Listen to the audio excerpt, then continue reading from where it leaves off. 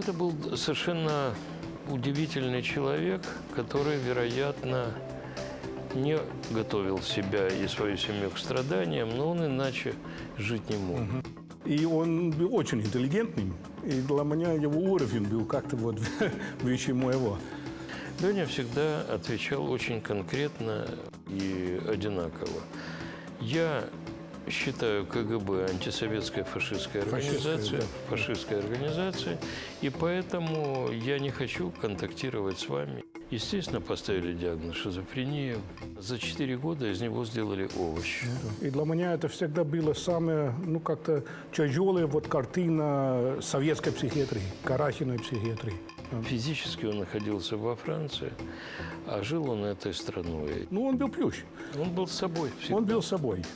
Семен Глузман та Робин Ван Уорен у першій студії на першому.